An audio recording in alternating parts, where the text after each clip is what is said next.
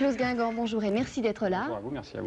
Plus de 150 célébrités. 170. 170. Alors Jacques Chirac, Liza Minnelli, Spielberg, César, Leonardo DiCaprio, Depardieu, l'abbé Pierre, Johnny, Claudia Schiffer, enfin. Tous les top modèles, tous les couturiers, les écrivains. J'ai travaillé sur les exemples. Si j'avais fait euh, des SDF et des, et des chômeurs, personne n'en aurait parlé. Vous êtes le seul artiste contemporain à avoir pu exposer au Louvre en mars 95. 95. En juin 95, vous étiez au cirque d'hiver pour une vente d'enchères euh, euh, au profit de la lutte contre le sida.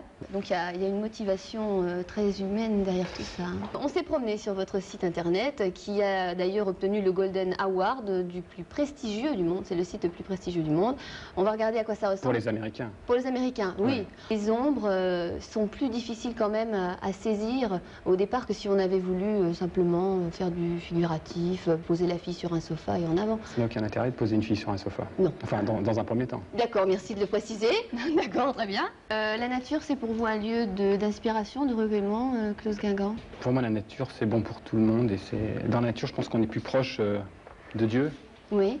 Donc de la vérité, je pense pas qu'en ville, on soit très très proche de la vérité. Il y a un peu trop de bruit, trop d'énervement, trop de stress. Mm. Vous avez besoin de ça, donc? Non, je pense que tout le monde, euh, je pense que si chaque personne se retrouve seule dans la nature, pas forcément accompagnée, hein, on peut être très mal accompagné aussi, mais seul dans la nature, c'est bien. Seul dans la nuit aussi, c'est bien. Mhm.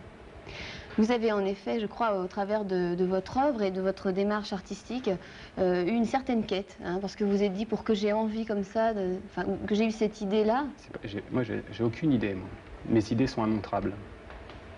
Parce que mes idées, ça va être des choses esthétiques, hein, belles, intelligentes éventuellement. Moi, ce qui m'intéresse, c'est le sacré. Et pour faire du sacré, il faut arriver à un moment de sa vie et bien comprendre que Dieu existe et que la vraie création vient de Dieu. Toute autre création n'est pas très intéressante. Donc s'il y a 20 siècles ou même avant, quelqu'un avait immortalisé l'ombre du Christ, hein, Mhm. pour revenir à l'ombre, je pense qu'on aurait eu, euh, on n'est même plus face à de l'art là. On aurait, il y aurait eu des milliards d'individus pendant 20 siècles qui seraient mis à genoux pour prier. Si j'ai même à faire euh, sur vous quelque chose, je ne parlerai que votre ombre. Mais là, c'est la première fois qu'on va être face à une toile qui va prendre une signification toute différente à votre décès. Si vous allez voir la Joconde, il n'y a pas de différence. La Joconde, vous comprenez, la vision est toujours la même. On a dit aux gens que c'était un chef-d'œuvre. Ils ne regardent pas la Joconde, la Joconde, ils regardent un chef-d'œuvre. L'ombre, il y, a il y a un nouveau regard qui vient quand la personne décède. C'est-à-dire que l'émotion que nous, qu'on peut éventuellement voir l'ombre de Serge Gainsbourg n'a rien à voir avec l'émotion qu'aura Charlotte ou euh, les proches de Serge Gainsbourg. Ouais. Un petit mot pour conclure, euh, Klaus Guingamp. Vous êtes euh, là pour quelque temps encore. Vous avez souvent la bougeotte ou vous allez... Moi, je n'aime que partir, moi, D'accord. Donc si on veut vous voir, on vous verra quand même... euh, avant que je parte. Avant que je parte. D'accord, très bien.